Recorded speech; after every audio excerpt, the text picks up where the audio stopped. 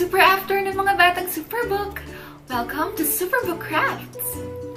Ako si Ate Viola at makakasama niyo ako ulit ngayong araw sa activity natin na related sa Bible story natin ngayong week. Ano nga pala ulit yung Bible story natin? Tama! Ready na ba kayo? Huwag niyo palang kalimutan na magpa-help kayo ng mommy and daddy sa paggamit ng scissors, ha?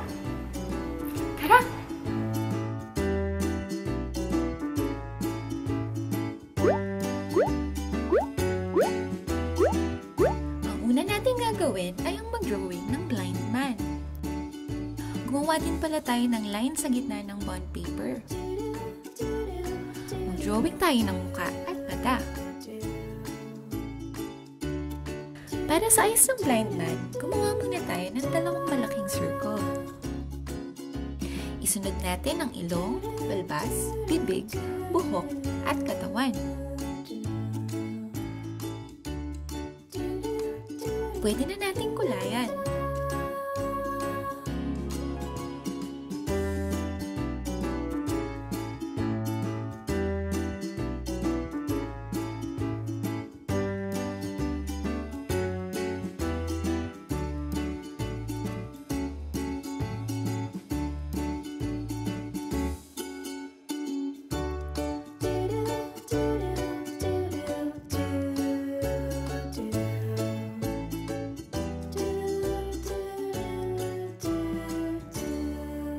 Kumuha tayo ng isa pang bond paper at mag-drawing ng isa pang set ng eyes.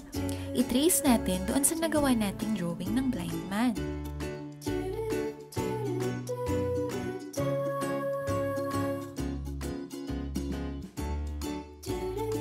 Gumawa din pala tayo ng shade sa taas ng eyes na na-draw natin.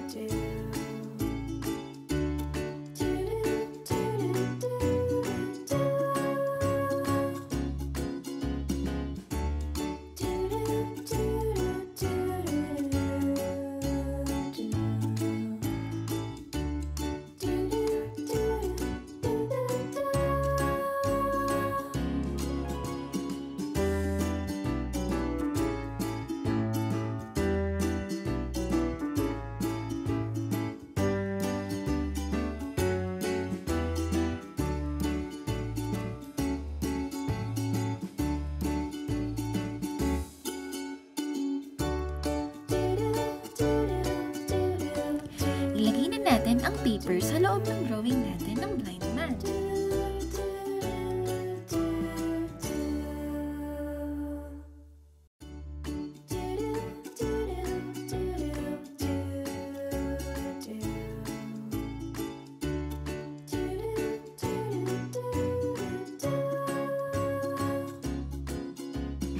And that's it for today mga Batang Superbook! Nag-enjoy ba kayo sa paggawa natin ng artwork ngayong araw? See you again next week dito sa Superbook Crafts! Bye-bye!